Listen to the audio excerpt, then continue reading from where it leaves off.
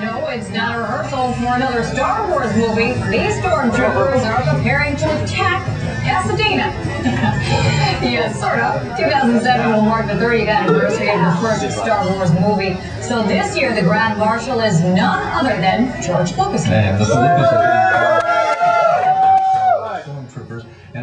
2's Jaime Garza shows us, the troopers have been getting in some last-minute drills.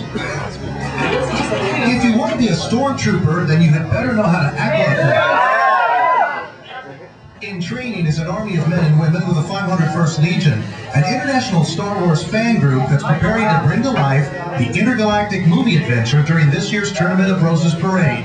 I had no idea it would be like this. I mean, I've seen the Rose Parade on TV. I didn't. I never thought in a million years I'd actually be in it. Regina Mayug, a freelance writer from the Philippines, says what a fantastic payoff for simply sending director George Lucas a video of herself wearing a handmade replica costume. Oh, it was just a top secret mission. It's all confidential. Don't tell anybody.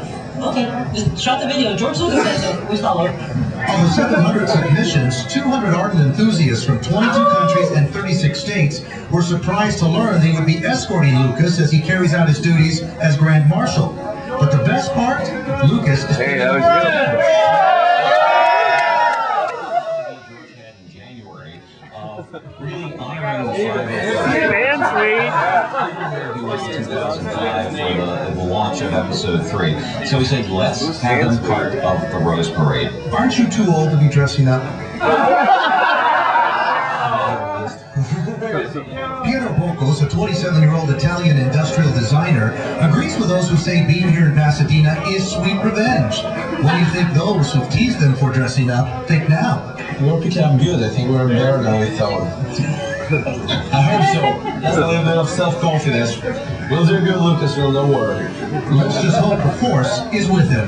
In Pasadena, Jaime Garza, CBS 2 News.